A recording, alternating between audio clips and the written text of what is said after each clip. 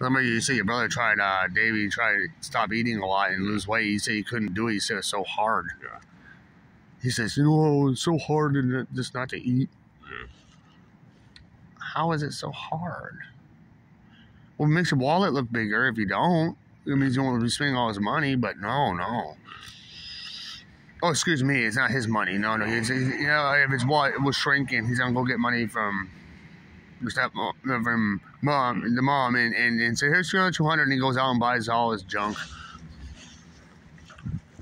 Well, he can make the he can make the kids not eat, but he but but but he can't make him.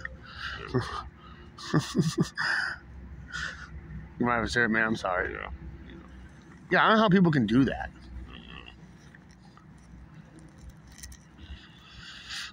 To get that big, Oh no. I don't know.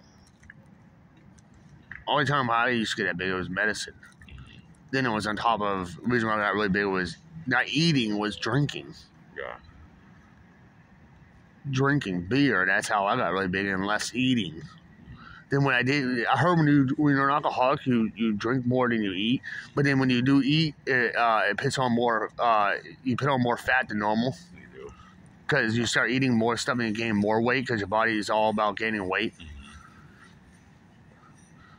I heard that when people like I know I know what Sean means. When you get the munchies when you eat when you drink. Then that's when you hit on a lot of weight because it, it you already your systems can't burn it off, so you just pound the heck up your gut.